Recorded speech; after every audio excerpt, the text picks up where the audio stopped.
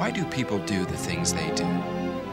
That question, more than any other, has consumed my life.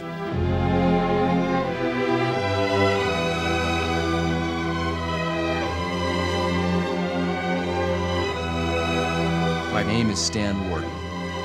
Human behavior is my business. Oh. You know, I've been looking all over for that. Who are you?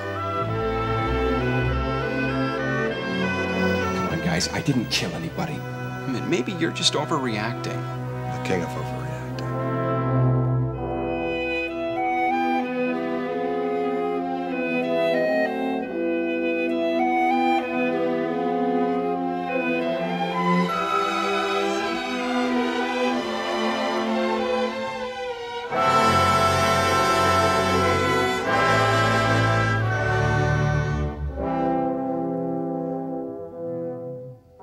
Welcome to the Wonder View Apartments.